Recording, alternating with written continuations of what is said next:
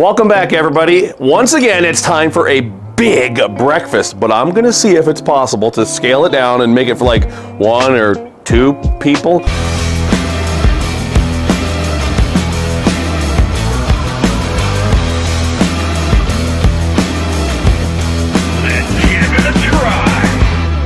Potatoes, that's always one of the big questions when it comes to my viewers. They're always asking me, hey Todd, what's the best way to do potatoes or why don't my potatoes work out right? These are russet potatoes. I've washed them and I left the skin on and we're gonna use the mandolin slice. Mandolin slicers are some of the most dangerous kitchen tools in the world. You have to be careful. So I suggest that if you have them, use some cut resistant gloves. 22 inch Blackstone Pro Series griddle, medium heat, olive oil. I caught myself. I was putting down way too many hash browns for one or two people, so we're gonna save a little bit. A little more olive oil and some Wildman Chef seasonings. A shout out to Scott Price, my subscriber who gave me this a couple years ago. Super thin, so these are gonna cook quick. These hash browns are cooking up really quickly, so from the get-go, I'm gonna turn that right burner down to low. Colorado Mountain Man breakfast sausage, one of my favorites. You can go back into the archives here on Let's Give It a Try or on my personal channel to see me making my wild game sausage. You see me using this sausage a lot of times in my videos and it's semi-frozen. You can kind of slice it into discs, but today it's completely thawed. So we're just gonna go ahead and fashion out some patties here. But you know what? I said this is gonna be a big breakfast, even though I'm gonna make it for just you know, one or two people. So I'm gonna make maybe a little bit larger than uh, normal patties. Antelope sausage patties down on the griddle top. And I don't need to season these. Like I said, they are Mountain Man seasonings. I used one of the High Mountain kits and the seasoning is inside the sausage. A lot of questions about hash browns. People wondering, Oh my goodness, do I have to soak them in? No, as you can see, very simple. And look how gorgeous those look. Kodiak cakes, you've seen me use these for years. Good stuff. We're just gonna go with one serving. Loosely measured, one cup with three quarters cup water. And you've seen me do this for years. First I go down with cinnamon. And I really love almond extract. As is typical with any type of over-the-counter pancake mix, that looks a little thick. It's usually thicker thin. Grab your Blackstone squirt bottle and just add a little bit of water. Should be able to get the consistency that you want. Hash browns looking absolutely perfect. They're over here in a holding pattern. Let's go in and flip my sausage patties. Oh, yes.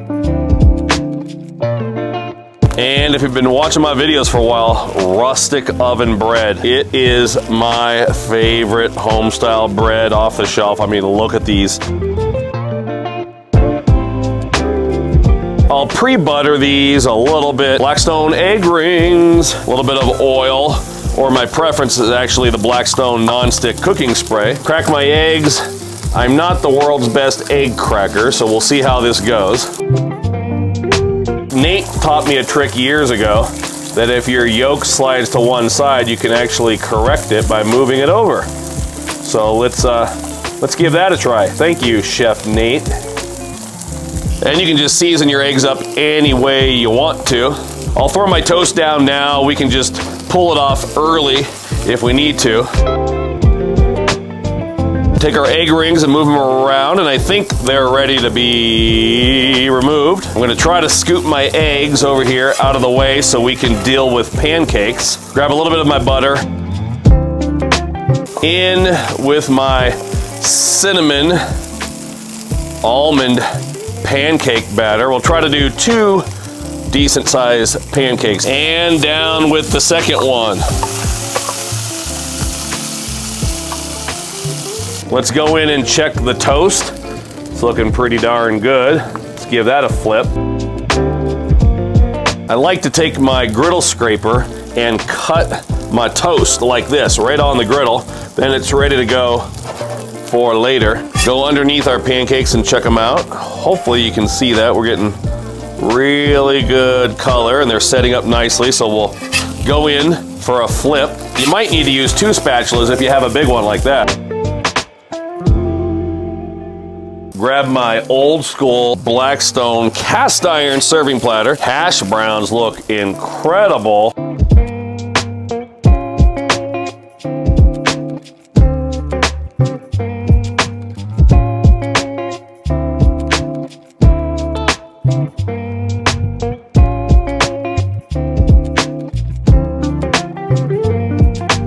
I'll slice up some bananas down with a little bit of banana, some blueberries as well. And for me, I have to have texture. I have to have some crunch. So today we're going in with pecans. Check this out, a brand new syrup from Emlenton, Pennsylvania. Grade A, very dark color. You have to have that pure maple syrup. Take a look at that. I have to get a good thumbnail photo, so let me remove this cutting board.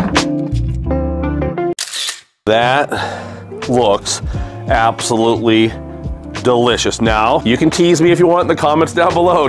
Who on earth can eat that by themselves? I'll be honest, I can't do it. Back in the day, I could. Now, I do like a big hearty breakfast once in a while, but I exercise. I try to have smoothies for breakfast. Like I said, one person that's super hungry, or for two people that are pretty darn hungry as well. Here we go. We're starting with that Colorado antelope sausage. Oh, man.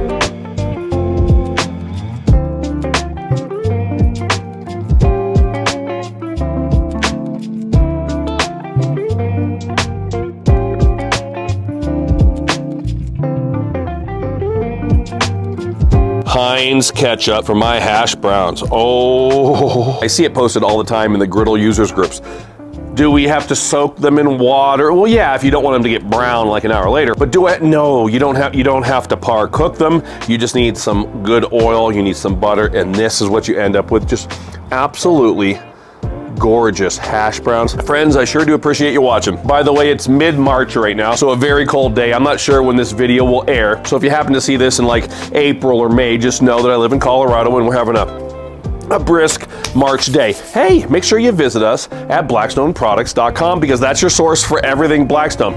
You want to find out about our new pizza oven? Go to blackstoneproducts.com. Hey, and also, if you want cool Blackstone t-shirts, hoodies, sweatshirts, go to griddlenation.com. This is Let's Give It a Try, and we have a brand new episode every darn week. So until next time, this is Todd, and I'm saying praise the Lord and pass the obnoxiously large, big country homestyle breakfast. Oh, it's good.